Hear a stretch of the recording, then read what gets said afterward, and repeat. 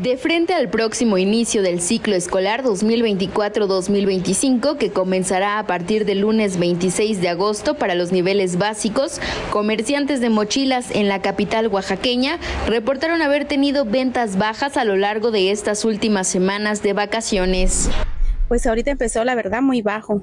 La, verdad esperábamos que este año fuera tuviéramos mm, pues mejor que el año pasado a raíz de la pandemia pues todo todo bajó todo cambió. De, que hubo este clases presenciales pues ya no estuvieron utilizando mochila los niños. Pero ahorita con el regreso de ya virtual este presencial pues ya el primer año pues estuvo más o menos el segundo pues igual. Pero ya este la verdad sí está un poco bueno no un poco demasiado calmado diría yo en el regreso a clases. Ahorita pues sí está tranquilo, de momento entran, de momento no. Así también señalaron que al igual que muchos otros productos, el precio de las mochilas también experimentó un incremento.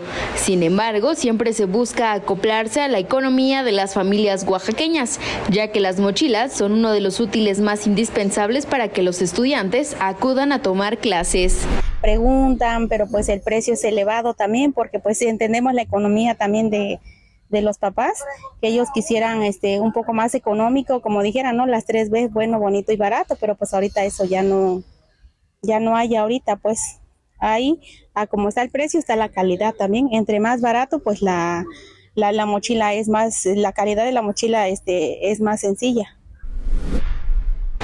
Por otra parte, dijeron que lo poco que se ha logrado vender durante estas vacaciones son mochilas de personajes característicos de películas y caricaturas infantiles que llaman la atención de niñas y niños de nivel primaria.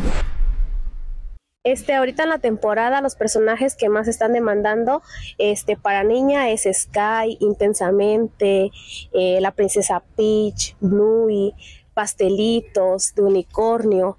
Para niños, pues Sonic, Cars, este, Dragon Ball, Minecraft, Xbox, este,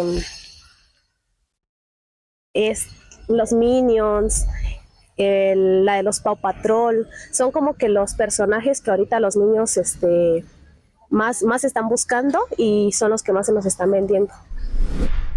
Informó para Noti 13 Alexandra Hernández.